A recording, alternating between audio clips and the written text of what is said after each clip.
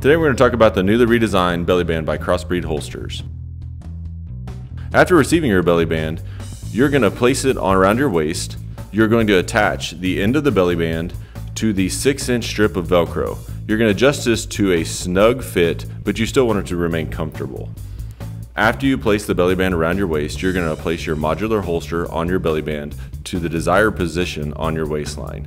After you find that desired position, you're going to wrap the remainder of the belly band around your waist, securing it to one of the supplied pieces of Velcro around the belly band. After that, you place your weapon in your belly band, put your shirt over your waistline, and now you have a concealed, comfortable carry all day long. If you have a question about any of our products, you can visit our website, crossbreedholsters.com, or you can give us a call at 888-732-5011 or email us at info at crossbreedholsters.com.